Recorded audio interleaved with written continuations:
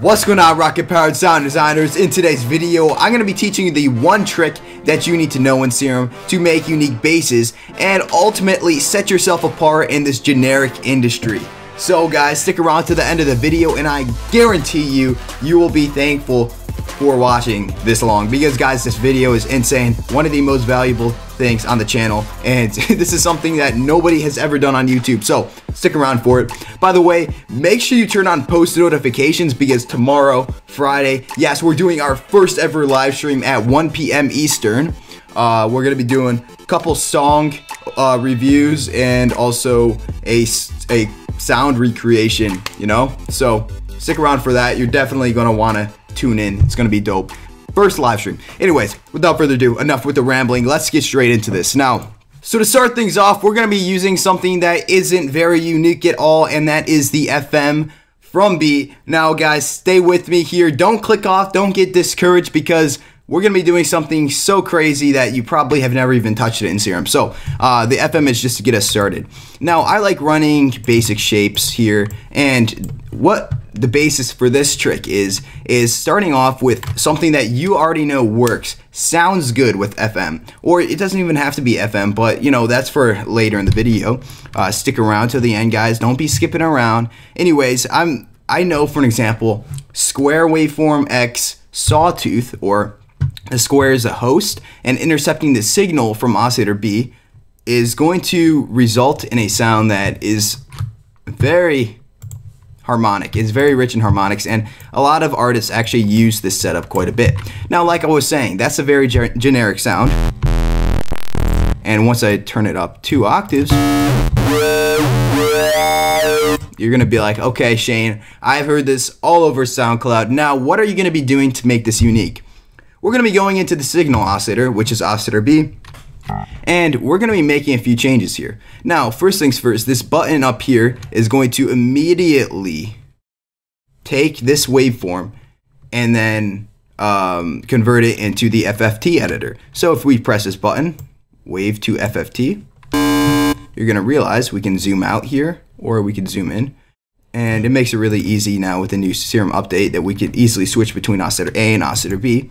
Um, but as you can see, guys, we have a series of bins. Now there are 512 bins on the in uh, these rows here. There's a top row and a bottom row, and I'm gonna be getting into that right now. Now, don't be right now. You're probably like, okay, what the hell, uh, guys? When I first didn't understand this, I was like kind of blown away. I was almost baffled. Didn't even know what to do. But hear me out. It's actually not too difficult to understand. The top bins represent frequencies or the harmonics in the waveform.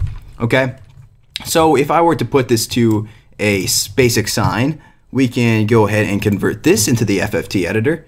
And you're going to realize, okay, right here. So the FFT basically is a series of bins or our makeup of a sine. So uh, all the gray highlighted areas are all different octaves of the sine.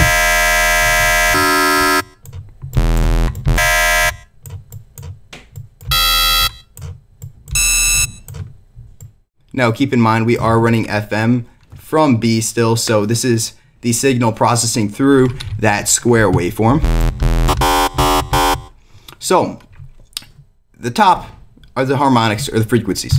The bottom is the phase offset. So if I were to put this at around 50%, you're gonna realize, boom, waveform is flipped.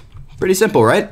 Now, um, as I was saying, these are all sine waveforms. So what we end up doing is we have to convert this into a uh, into the FFT. It's not as simple as just kind of drawing all these because look at how complex that is. That's 512 individual bins. Now, where does the uniqueness coming in and kind of creating your own style off of this? I'm going to be showing you right now. We can kind of work together here and see what we can do to actually make something sound cool.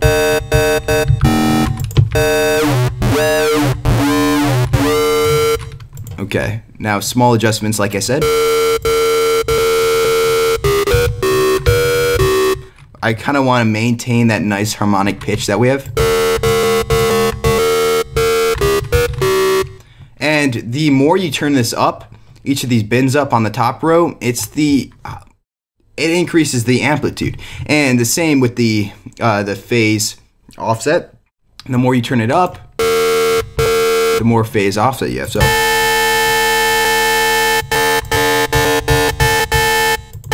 Although the peak is found in around 50%, it starts and then it curves all the way back down to where you started from.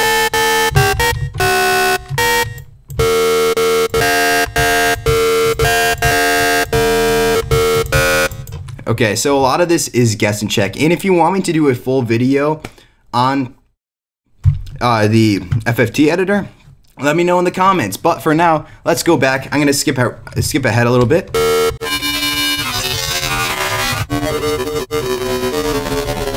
Okay, so this is what I ended up with. It's just a very simple sound like this.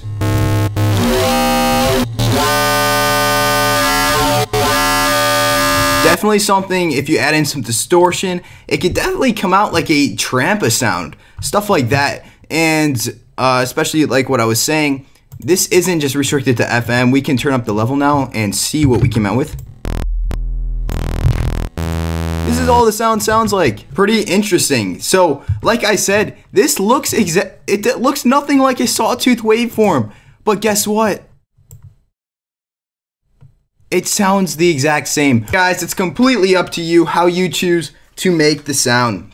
Now, I hope that you found this tutorial entertaining or educational, hopefully both, because I thought this was such a cool technique that I actually used myself and I just had to share it.